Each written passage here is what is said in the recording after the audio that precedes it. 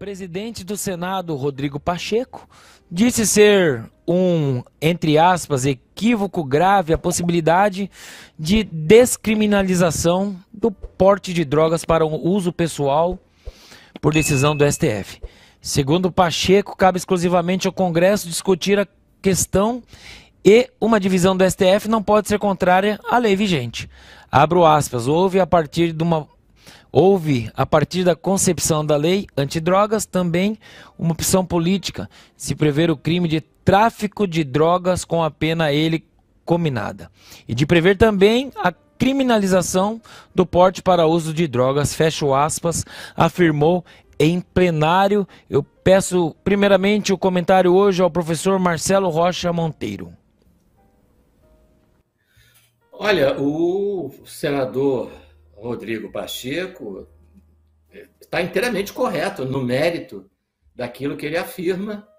É, o, que é espantoso é o tempo que ele demorou para afirmar isso. Né?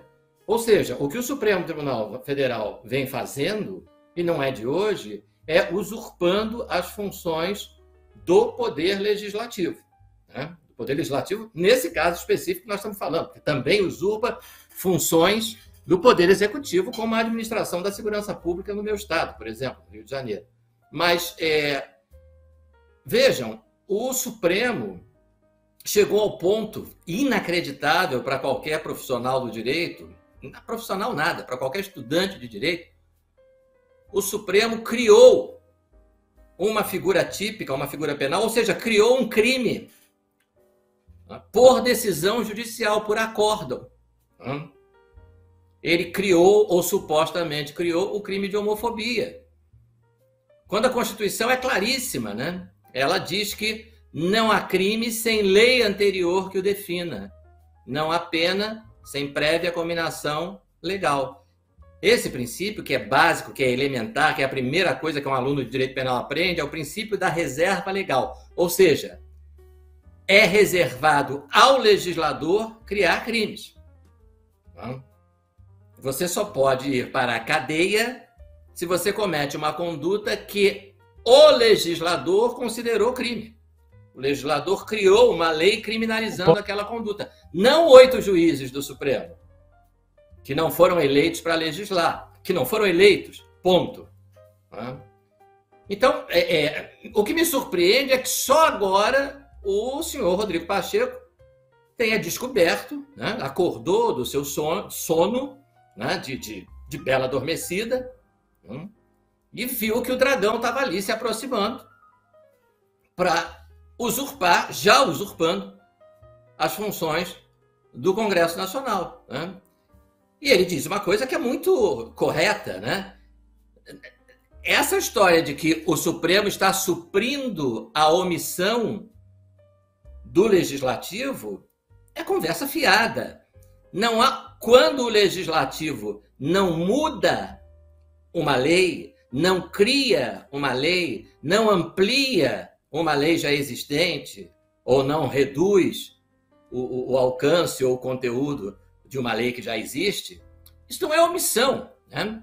Isso aí é o poder legislativo exercendo a sua função, que é discricionária, né? e dizendo: não há por que mexer nessa lei agora. Né? A lei criminaliza o racismo, a discriminação racial. Não criminaliza a discriminação por orientação sexual. Ah, então o, o Congresso se omitiu. Ele não se omitiu.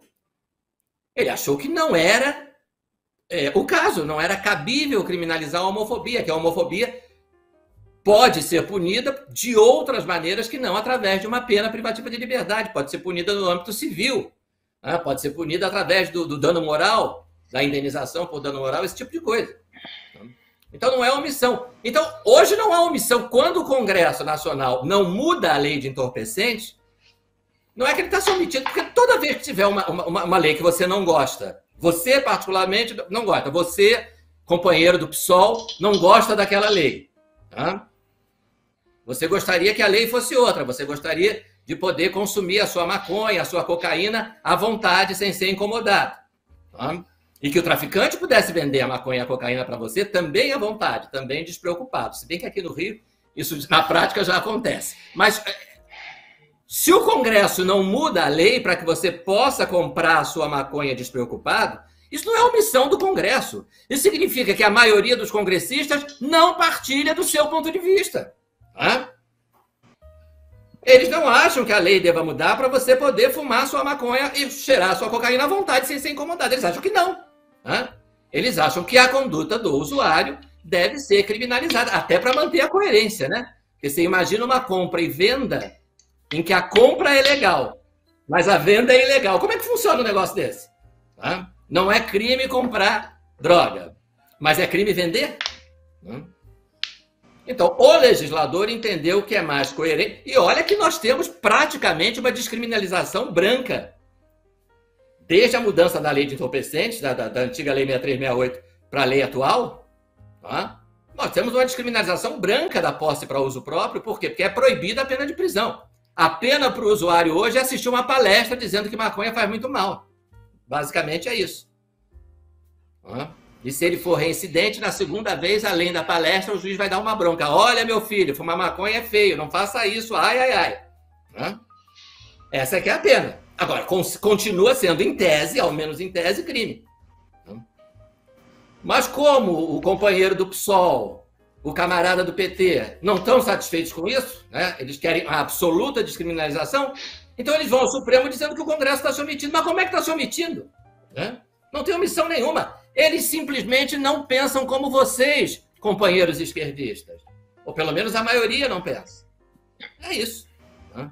Então eu acho que o Rodrigo Pacheco acordou de um sono profundo e descobriu que a competência do, do, do Congresso que ele preside, né? porque o presidente do Senado é, o, é também o presidente do Congresso Nacional, está sendo invadida pelo Supremo. Ele demorou no mínimo, quatro anos para descobrir isso, né? Porque essa, essa, esse absurdo que foi a criação de um crime por decisão judicial é 2019.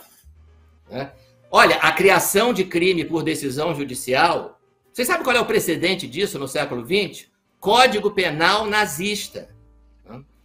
que dizia que não precisa uma lei prever uma conduta para que ela seja considerada crime, basta que um juiz a considere lesiva aos interesses da pátria alemã.